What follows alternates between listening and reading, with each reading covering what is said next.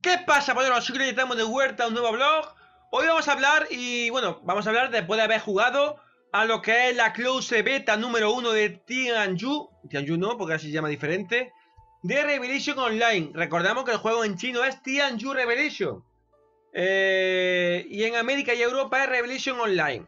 Después de haber jugado a la, a beta, no tanto como a mí me hubiera gustado, la verdad, pero tenía que mostrar todas las clases y por lo menos los primeros niveles hasta el level 36 o 34 o 33 que he llegado con la con la primera, con Karajina. El caso que, bueno, después de haber jugado a la, a la close beta, aunque nos queda otras dos close beta más, porque han anunciado que va a haber por lo menos tres close betas, es decir, esta y dos más. Hasta que saquen el juego, porque tienen mucho que reparar y mucho que testear, y yo lo veo perfecto. Preferible es un juego bien testeado. Uy, el micro. Bien testeado, bien probado y bien revisado que a que nos den un juego lleno de bugs y de fallas. Eh, por eso, el juego, bueno, aún no hay fecha de salida ni fecha para la próxima close betas. Pero es lo que hay. Eh, por ahora vamos a seguir tirando de la idea de que el juego saldrá oficialmente entre febrero y marzo, ¿eh? Es lo que tenemos estipulado y calculado, pues lo que estamos acostumbrados a jugar a beta y cositas de estas. Bueno, ¿qué decir de juego? El juego me ha gustado bastante. Eh, me ha resultado. Me ha, me ha. ¿Cómo se diría? Me ha resultado muy familiar el jugarlo. Debido a la mecánica que tiene el juego que se encuentran en muchos otros juegos. Claro está, no va a ser un juego innovador. Bueno, innova como siempre en la historia, en algunos sistemas y en su aire, en su atmósfera. Hay que decir que el juego gráficamente es muy aceptable, está muy bien diseñado, está muy bien adaptado y está muy bien lo que se dice, eh, ¿cómo decirlo? Eh, puesto en escena para que veamos algo bonito. No veamos cosas raras ni... no sé, es un juego bien hecho. Decir que uno de sus puntos fuertes también es el gran editor de personajes que tiene, que es totalmente configurable y me atrevo a decir que mejor que el de Ion.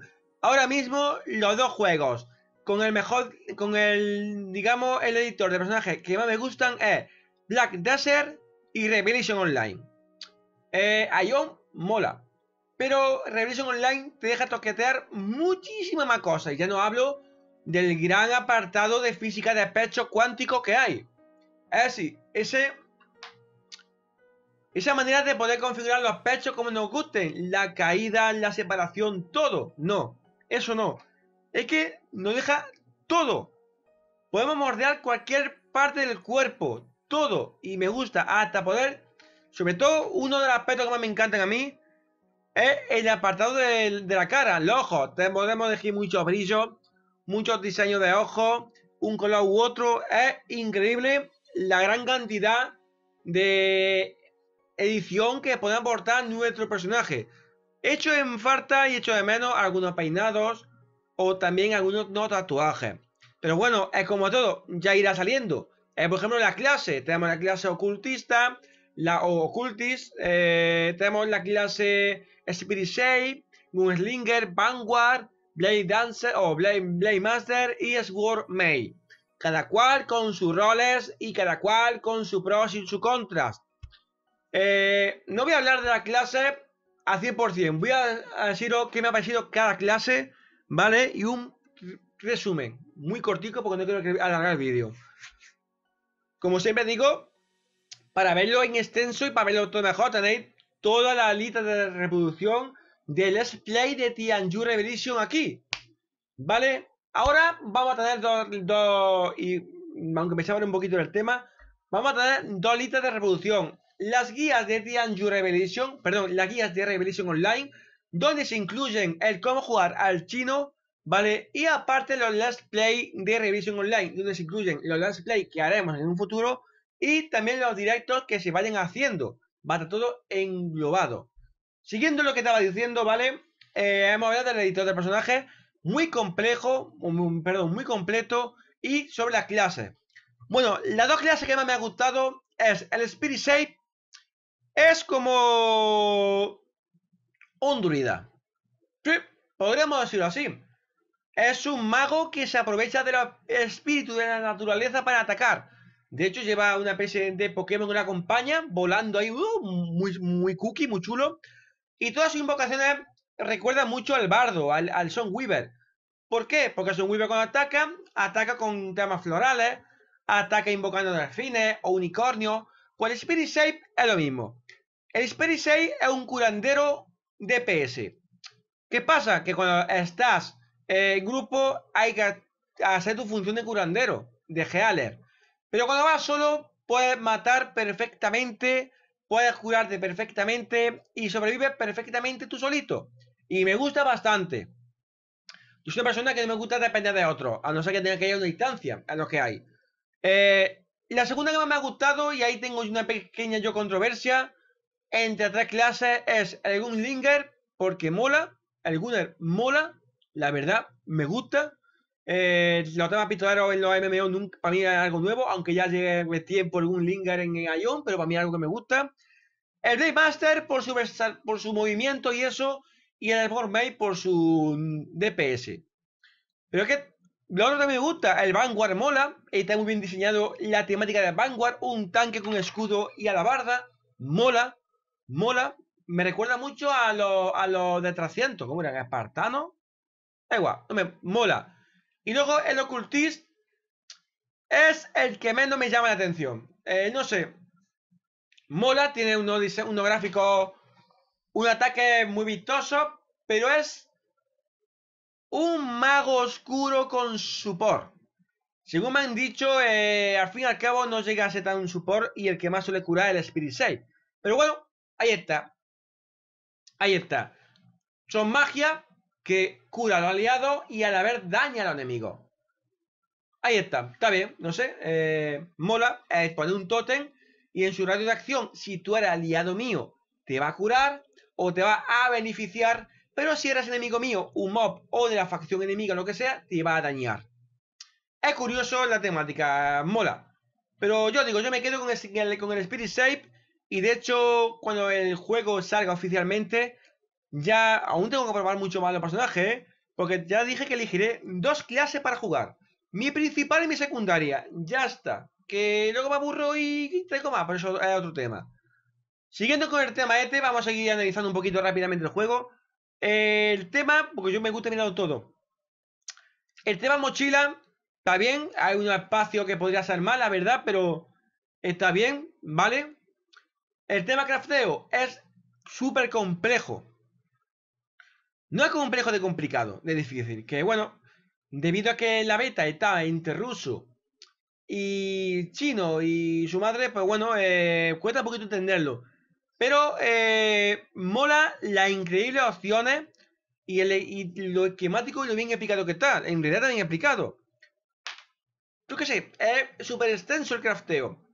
Podemos ser desde arquitecto hasta cultivador de té, yo qué sé, hay, hay muchas cosas interesantes.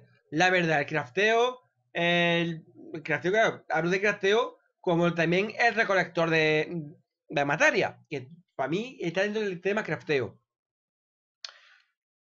Ya me he ido de una cosa a otra, pero bueno, eh, hablaba del inventario y del crafteo está dentro de la ficha menú del personaje.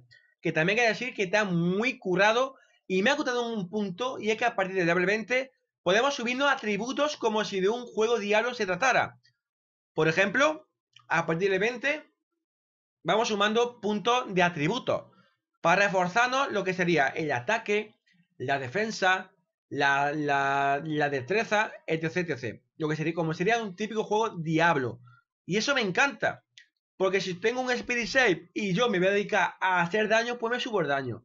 Que me quiero dedicar a nada que curar, pues me subo la defensa. Eh, el, el, rollo ese. Es igual que un Vanguard. Un Vanguard puedo subirme nada más que a defensa o a daño. El Vanguard del tanque. ¿eh? Pues el tema ese mola.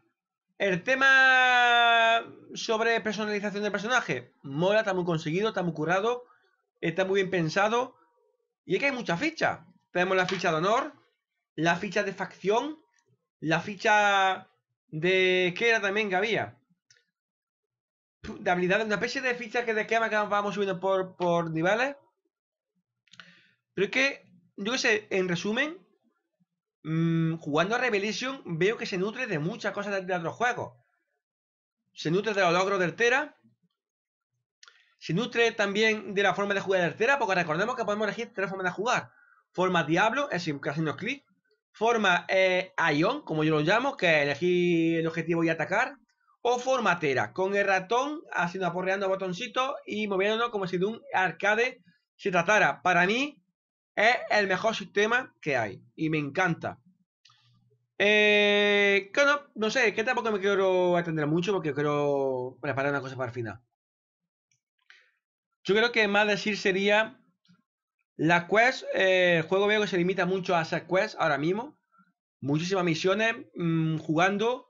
No me, no me, han recordado a un Ion, un Ion sin vida. Tenemos que admitir que el Ion lleva muchos años, pero al fin y al cabo las quests son, digamos, sosa. No dan personalidad, no dan caché. Igual que pasa con Tera, igual que pasa con muchos juegos. Pero, Tian, pero Tianju Revelation mola porque parece que más que a un MMO estamos jugando a una serie anime. Su cinemática, su rollo, sus animaciones, te meten en la historia, te involucran. Mola. Luego aparte, aparte de la cual de historia, hay un sinfín de quests que muchas están bugueadas o están apartadas o están desactivadas porque están traduciéndose. No sé. ¿Qué más de así? El entorno, el paisaje, me encantan, está muy bien conseguido, muy bien logrado, muy vistoso, una música, una banda sonora flipante.